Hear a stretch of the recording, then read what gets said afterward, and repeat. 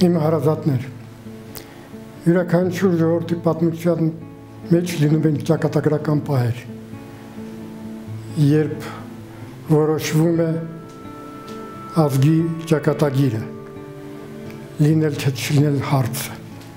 լինել թե չլինել ոչ թե միայն ֆիզիկական առումով,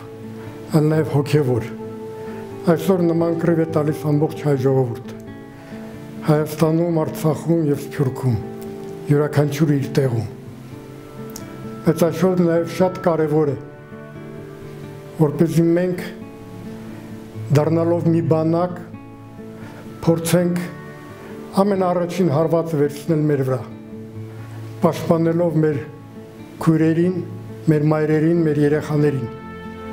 Տղերք, հայրենիքը ձեր կարիք ունի